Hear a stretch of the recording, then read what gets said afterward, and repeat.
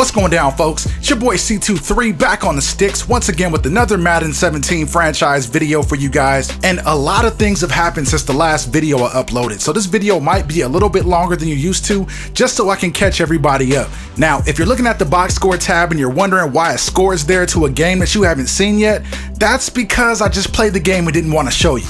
no, I'm just joking. Of course, I wanted to show you guys the game. But I ran into an issue where my capture card, which is an HD PVR 60 for those of you guys that are wondering, wondering, simply didn't record the game after I hit the record button. Now, for those of you guys that have HD PVRs, you know what I'm talking about, that little button at the very top of the device. I pressed it down, the capture card lit up red like it usually does when it records. I played the full game, then went back to my computer getting ready to edit, and sure enough, there was no recorded footage. So I apologize to you guys for that, but I can tell you that it was one of those slow, methodical, grinded out type of games, and you can tell just by looking at the box score that neither team really could do much offensively, but we were able to do just enough to squeak out a win by one point, and really that's all that matters. Now, I do have some bad news to report, and unfortunately, it's at a position where we have no depth whatsoever, but our starting running back, Tevin Coleman, is out for eight games with a broken collarbone, you guys. So we're definitely going to have to do something to address that moving forward, because like I said, there are no running backs on this roster. But before we can get to that, there's a couple of other decisions that need to be made, and like I always do, I'm going to call on the help from all of you Madden GMs out there to help me figure out what needs to happen here. Now check this out. We've got two pretty big positions where players are up for resigning. We've got Jake Matthews, our left tackle, and our right tackle, Ryan Schraeder. Now, you guys remember what happened last season with Ryan Schraeder, and for those of you who don't, I basically had to slap him with the franchise tag because he was trying to test free agency, and I just wasn't letting one of the best right tackles in the game go out like that. So as for our upcoming decision to all of my fellow Madden GMs, what should our move be here? Should we go Schraeder or should we go Matthews? Go on ahead and drop me a comment down below and let me know what your thoughts are. Right now, I'm leaning towards Schraeder, and this is a little bit of a spoiler alert for a future video, but the reason I'm leaning towards Schraeder is because there are a lot of left tackles available coming up in the draft. So I'm expecting that draft pick that we got in the Devonta Freeman trade to be good enough for us to get one of those really elite left tackles. But we'll see how everything plays out. Drop me a comment below and let me know your thoughts. Now, since we've got no other running back on the roster besides Terron Ward, we need to make a move here. And since the Raiders somehow acquired acquired Jeremy Hill from Cincinnati, Latavius Murray should be available. So taking a quick look at his skill set, he's got 92 speed, 94 acceleration, 87 carrying, 85 trucking, 85 stiff arm. I'm liking everything about this player. He should definitely be an impact type of guy. So we're gonna go on ahead and make this deal happen with the Raiders. We had to give up a little bit as far as draft picks go in the future. We gave them a third and fifth rounder next year. Plus we tossed in Brooks Reed, a player who could pretty much never crack the rotation anyways. So we're not gonna miss much there. In terms of what we're getting back, we're getting a sixth round pick next year and Latavius Murray. And I think that's a really good steal if you ask me. That third round pick, maybe we can end up working something out to where we can get another third rounder next year, but I'm not too worried about it. I think it's a really good deal. What do you guys think about about it. Make sure you drop me a comment below and let me know what you guys think. So after pulling off one of the best deals I think as my time as a Falcons GM, I was so hyped, I was ready to go. I was gonna hop into the very next game and just let Latavius Murray run crazy all over the Carolina Panthers. So I advanced it to week six and I just so happened to scroll over and check my depth chart and to my surprise, Latavius Murray is nowhere to be found on the roster. So I do a little bit of investigating here, scroll down and check the injury report just to see what's going on and somehow through osmosis or something, Latavius now has a torn pec muscle and he's to miss 33 weeks. 33 weeks, you guys. Are you kidding me? What just happened? I'm I completely just lost my mind at this point. For the life of me, somebody please explain to me what just happened. Is Madden doing some like behind the scenes simulation or something to where guys can get hurt for doing nothing? Or are they trying to make it to where guys get hurt off the field, kind of like they do in real life, maybe in the weight room or at home or something? Or did I just get trolled by some random simulation AI glitch? Either case, somebody let me know what's going on because I'm a little annoyed by that. As soon as I make the trade, the guy gets injured. So anyway, we got to pick up somebody new now. And I am not making another trade, giving up any more draft picks. We're just going to pick up Denard Robinson from the waiver wire and we're just going to strap him up and play and see what happens. Now, getting into the gameplay, coming out first and 10, dumping it short to Robinson in the backfield, he's able to pick up enough yardage for a first down. Bringing up first and 10, we pitch it to him off the right side again. Denard Robinson picking up some pretty decent yardage early on on in this one, you guys. That pickup right there was for about a gain of five or six. Bringing up second down now. Matt Ryan throwing a dart to Hooper right there down the seam, picking up 15 yards on the play. First and 10 now, going play action. Matt Ryan looking downfield, connecting with the wide open Josh Gordon in the middle of the field. He makes the grab there and puts us in goal to goal territory. On first and goal, we pitch it off the left side and Robinson goes nowhere. He gets tackled by Thomas Davis on the play. Now look at what Madden does to me, you guys. You see this? For some reason, they felt it necessary to show me all the guys that are inactive due to injury, as if I didn't know. This game is crazy.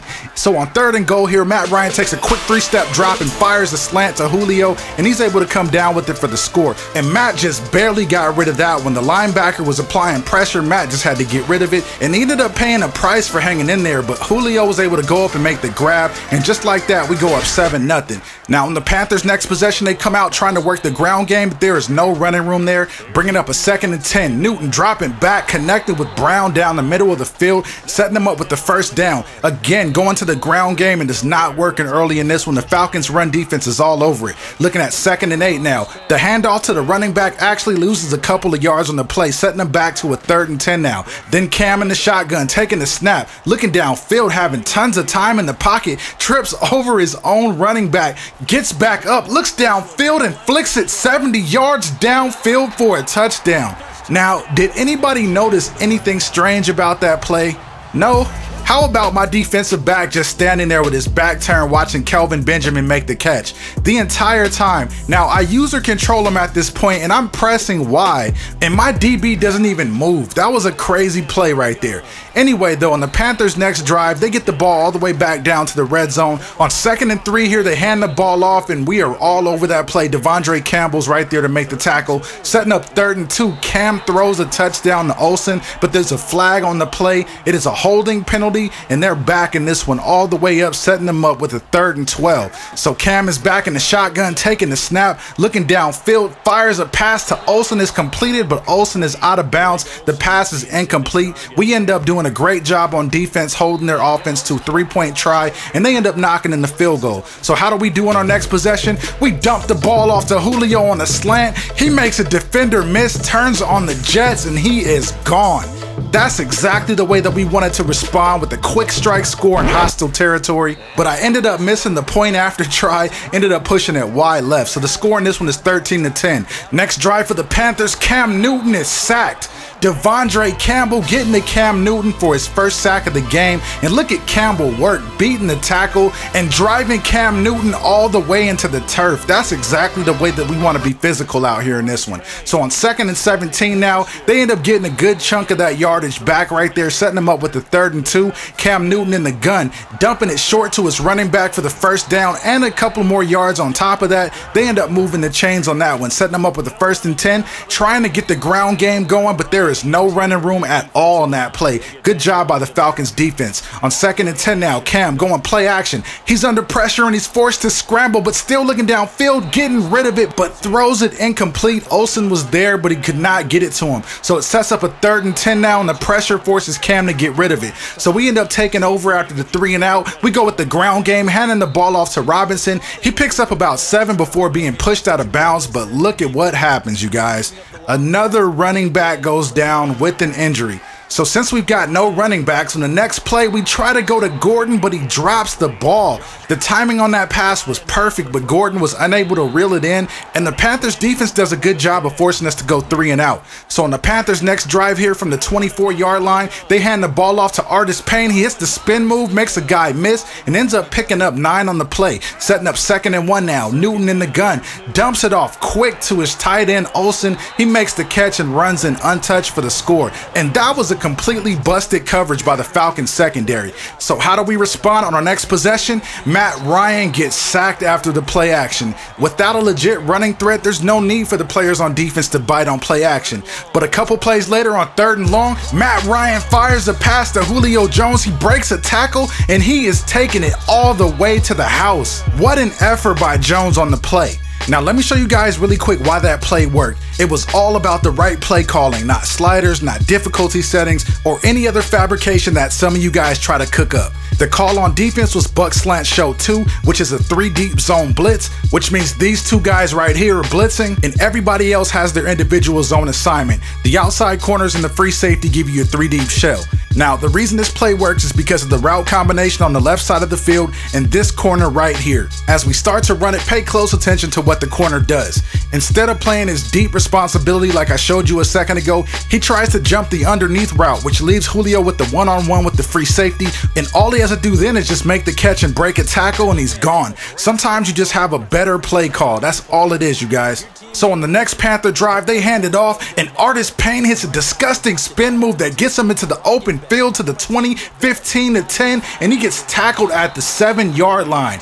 But our defense does a good job at holding them out the end zone, and they're forced to settle for three, and now we're looking at a tie ball game. Later in the quarter, though, with 34 seconds to go, Cam in the gun looking downfield, slings it over to Brown, and he's wide open, walking into the end zone right there. And that was another blown coverage by our secondary. We have to get that tightened up moving forward. Now we've got a little bit of time to see if we can answer back before the half ends. With 22 seconds to go, Matt Ryan throws deep into the middle of the field. Julio goes up and gets it, and we call a timeout, stopping the clock with 13 seconds to go. Next play, first and 10, Matt Ryan again driving the ball downfield. This time it's Miller with the grab, and Dan Quinn immediately hops in and calls a timeout. With five seconds to go, Matt Ryan sends Julio Jones in motion and then makes a quick adjustment at the line of scrimmage, making a line check, and then does a hot route to Hooper on the seam route. Ryan then takes the snap and goes up top to Austin Hooper, and he's able to come down with it in traffic over Luke Kuechly. So we're tied in this one 27 all. On my next offensive possession, Matt Ryan escaping the pocket, connecting with Julio Jones near the sideline for a nice gain. A couple plays later, Ryan dropping back again, going up top. This time is Josh Gordon going up and grabbing that one, and he's able to come down with it against the one-on-one coverage for the touchdown. So now the score is 34-27 in this one. How did the Panthers respond? With the quick strike right there to Benjamin, bringing up a second and three. Newton dumping it short to Funchess across the middle, who's able to make the grab and then pick up some nice yardage on top of it, bringing up a first and 10 now. Newton with the QB keeper trying to get downfield and is able to pick up about 12 yards on the play, and we've got another injury timeout on the field. This time it's Sherrod Westmoreland, our star cornerback that we acquired a couple of weeks ago, and that is a huge blow to our secondary, who really hasn't been playing that well in this one. So Sherrod goes out with a hit pointer and does not return in this game. So after the tackle for a loss by Beasley, the Panthers are looking at third and six. Newton in the gun has time in the pocket, scrambles. Beasley gets there but gets shaken off by Cam, who then throws downfield and connects with Funchess wide open in the middle of the field, and that sets him up in goal-to-goal territory. So on first and goal, they come out with the handoff. Artis Payne spins off a Falcons defender and walks in for the score. And that last play by Cam was just unbelievable. I can't tell you how many times times he's done that over the last couple of seasons. But the next play, we come right back connecting with Gordon on the post route, and he takes it all the way to the house, and then he just dives into the end zone there to put the finishing touches on the score. So moving things to the fourth quarter now, we got the same score, 41-34. It's two minutes and 10 seconds to go. Cam Newton in the gun, spread receiver set, taking the snap, dumping it off quick to Artis Payne, who makes a guy miss with that spin move. That has been a lethal move all game long. Next play, they come back with the handoff, and we make the tackle, but there's a flag on the play. This is going to be a face mask penalty that's going to give the Panthers even more yardage after the play. So a couple plays later here on third and four, Newton in the gun, he's under pressure and he's taken down by the rookie Dorsett. What a huge sack this late in the game. The Panthers then rush everybody back to the line. Newton in the gun. Again, he's under pressure. This time is Claiborne forcing the sack fumble. Dominique Easley is right there for the recovery. And look at the play by Claiborne right there. Shedding the block, getting to the quarterback right as he releases it, and we're able to recover it. And all we got to do now is just come out and take a knee, and we are finally able to beat the Carolina Panthers in the regular season. This is the first time in two seasons, you guys. What a crazy game.